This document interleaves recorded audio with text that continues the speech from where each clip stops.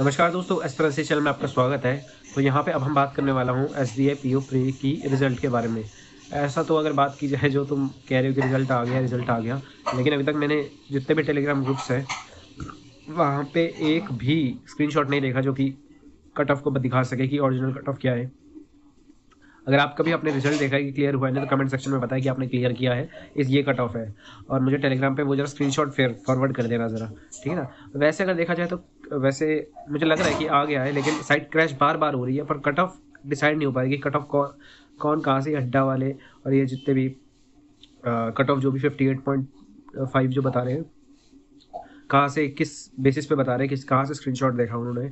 अगर जिसका, जिसने भी देखा स्क्रीनशॉट मतलब जिसने भी अपना रिज़ल्ट देखा है प्लीज़ उनको बताइए साइट क्रैश साइट क्रैश हो रही है बार बार साइट क्रैश हो रही है।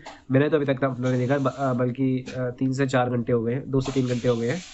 अभी तक मैंने अपना रिज़ल्ट नहीं देखा बाकी अगर रात को देखते हैं रात को दो तीन बजे तक चेक करेंगे दोस्तों से दोस्तों से चेक करवाएँगे ठीक है ना और देख मिलते हैं भाई मैं भी बता रहा हूँ मुझे तो लग नहीं रहा कि मेरा होएगा अगर फिफ्टी एट पॉइंट अगर फिफ्टी एट और फिफ्टी सिक्सटी के आसपास गई है तो मुश्किल है मेरा क्योंकि तो और एक्यूरेसी थोड़ी सी गड़बड़ाई हुई होगी वैसे बाकी देखते हैं क्या होता है? अभी तक तो ऐसा कुछ कंफर्म नहीं है, क्योंकि मैंने अभी तक कोई भी स्क्रीनशॉट नहीं देखा अभी तक। एटलीस्ट एक बच्चा तो हो जो स्क्रीनशॉट दिखा सके कि भाई ये कट ऑफ़ है। ठीक है ना? बाकी अगर आपने देख लिया तो प्लीज़ कमेंट सेक्शन में बताएँ।